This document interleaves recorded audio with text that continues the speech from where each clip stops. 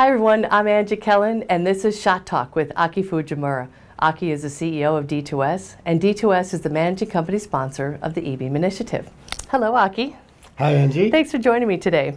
Yeah, thank you. Well, as you know, uh, this edition is going to be focusing on more of a recap of the SPIE Advanced Lithography Conference that was held at the end of February in San Jose, California. So Aki, let's start off with EUV.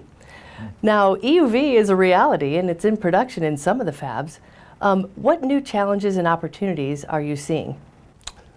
Well, yeah, you're right. Uh, there was a big celebratory mode um, with EUV going into high volume manufacturing, both at TSMC and Samsung. Uh, both companies uh, brought up uh, actual devices, electronic devices that have uh, EUV built uh, chips in it. So, so that was a big accomplishment. And started what 30 40 years ago so you know wow. a long long effort and congratulations to everybody uh, uh, who started it um, and uh, continued to be involved in it um, yeah so uh, there's a there's a lot of uh, uh, downstream impact now now that it's really being used and there are many things that are maybe just getting by today but uh, need to ramp up uh, quickly. And actinic inspection had always been discussed as uh, one of those things, and uh, uh, uh, Lasertec has announced the machine last year,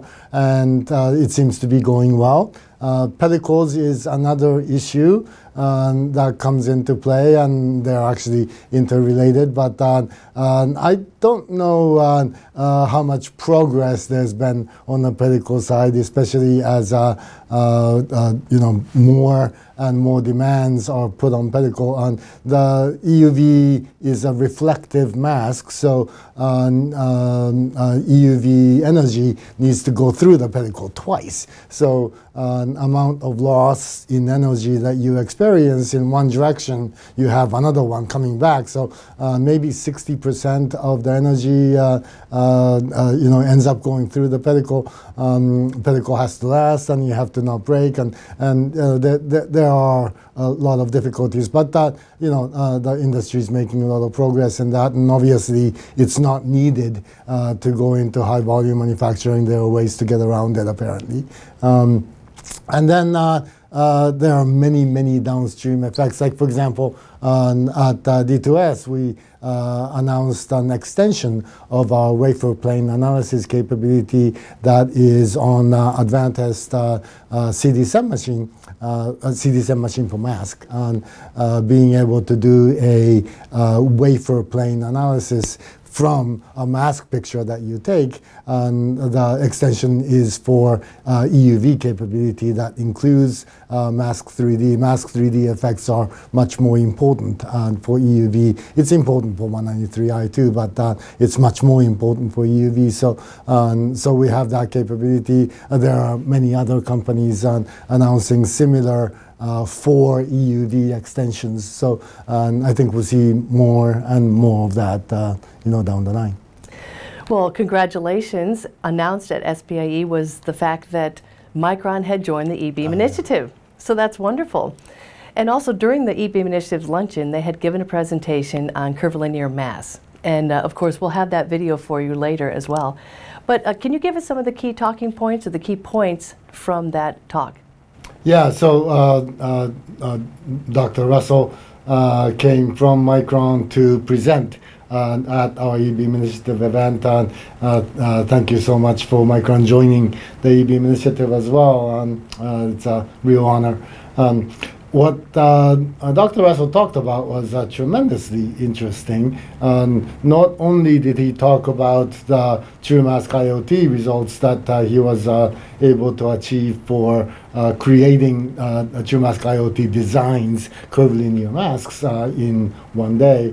Um, he talked about how Micron had been, even prior to the use of TrueMask ILT, using curvilinear or all angle uh, shapes uh, to improve process window. So uh, he made some uh, specific uh, references to design styles where the original Manhattan design is converted to a curvilinear shape so that the process window in manufacturing is improved uh, between 60 to 80 percent, depending on which result. Um, 60 to 80 percent improvement in process window is a tremendous uh, improvement. It's, it's very difficult to get that. So um, uh, clearly, his message was that uh, if you design uh, to a shape that is more manufacturable, the uh, of course, the actual result in manufacturing is more resilient to manufacturing variation. And uh, having specific uh, uh actual results uh, that show that was, uh, I, I, thought was very important for the industry as a whole. Well, also at the eBeam Initiative luncheon, Mycronic had given a presentation about their path to deep learning through CDLE. And for those of you that don't know, the CDLE is a Center for Deep Learning in Electronics Manufacturing. And um, so maybe you could uh, also at the same time, we also have a video of that as well, so you will be able to see that later. Um, so Aki, tell me what um, what is new with the CDLE? You know, what what kind of deep learning is going on there, and uh, maybe you can give us an update. Yeah, uh, uh, we had uh, tremendous success with CDLE uh, over the last year and a half, and uh, we formed it uh, together with NuFlare and Mycronic. um, uh, in uh, September, I guess, of uh, 2018. Uh, so it's only been like 17 months since then, but we had over 10 successful projects, um, and over three of those projects are uh, in the process of being productized uh, right now by various companies. Um, and uh, Mycronic specifically at the meeting talked about their result of taking the uh, uh, they make uh, a flat panel display laser-based multi-beam mask writer, and they they're they're taking the log files from those machines and getting a deep learning based correlation to Mura, which is an important uh, anomaly-based effect that human eye can see uh, when you're uh, producing flat panel displays. And, and if you have it in a mask, it appears on every uh, uh, flat panel display that the mask produces. So it's a very important thing for uh, the flat panel displays to be able to detect automatically Mura and to be able to make that correlation from the log files of the machine. That, that, that's, that's pretty outstanding, and uh, uh, uh, uh they uh, shared that result. So that's one of the more than 10 uh, successful projects that we've had. And I, I think it's been tremendously successful. And, in reflecting on it, and my personal take on it is immersion, not the 193i kind of immersion, but the language acquisition kind of uh, immersion in uh, uh, these people at the Center of Deep Learning working only on deep learning projects and working only around people, all of whom only work on deep learning projects, right? And you know, when I came over uh, to the United States when I was 13 years old, I came without my family by myself, and and I went into an American family. So for nine months, I didn't speak any Japanese. I didn't hear any Japanese. I only uh, was in an immersive environment in English, and that helped me tremendously um, to forget the whole language and acquire a new language. And I think it's the same thing uh, with deep learning too. Uh, uh engineers do much better, much faster, and uh, much more focus. Uh, and they can learn a lot of deep learning in a short period of time and, and get these kinds of accomplishments. So I think that's really great. And yeah, there are you know many other benefits uh, of the deep learning center, but uh, that's the one that stands out to me. Yeah. Well, let me wrap up with my final question. And Aki, you always have your ear to the ground when you're at these conferences. What are you hearing from the attendees as far as a particular paper or any kind of news that was shared? Yeah, so um, you know, walking around the conference, uh, we couldn't uh, uh, help but to notice that uh, some uh, countries, some companies were uh, missing in attendance because of the COVID 19 effect.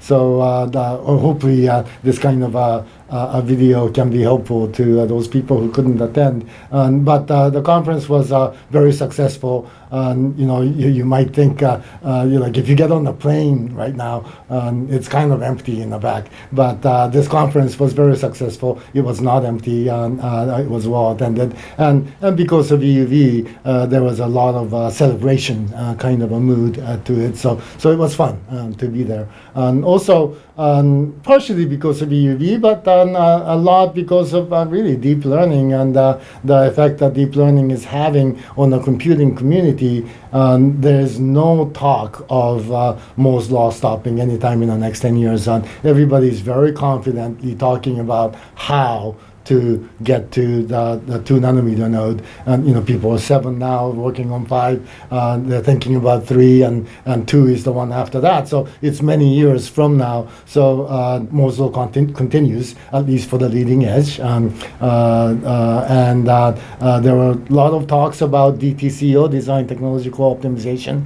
there were a lot of discussions about the device level improvement going to nanosheets. And that was a lot of discussion discussion there. And on the flash devices, on uh, going 3D, uh, uh, some people talked about 192 layers, on you know 64 times 3 um, of you know many many stacks, right?